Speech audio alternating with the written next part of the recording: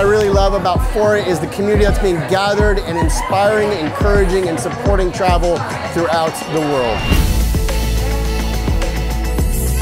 The best benefit of being a part of the Fora community is honestly the people. It makes me feel grounded, like there's a support group on the ground. I can meet up with somebody and have coffee and they'll give me great advice um, and the ability to see some new hotel, new property, new restaurant recommendations.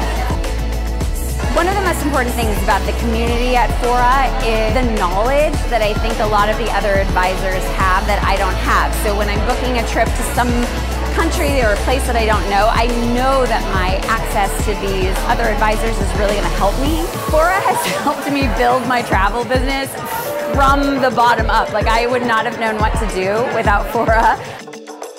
Some of the important things of community traveling and growing and evolving. What excites me mostly about seeing other advisors in the city is being able to meet with them for coffee, drinks, ask for their help, because everyone, different ages, different experiences, so it's very helpful. I just really want to say thank you. This is an incredible honor to see people come in from all over the state to celebrate the kickoff of Chapter Leads with us. It's just the coolest crowd of people, some of whom I already knew, some of whom I didn't, but I think we're all leaving here today like family, and this is really what we're about. We're about building businesses together.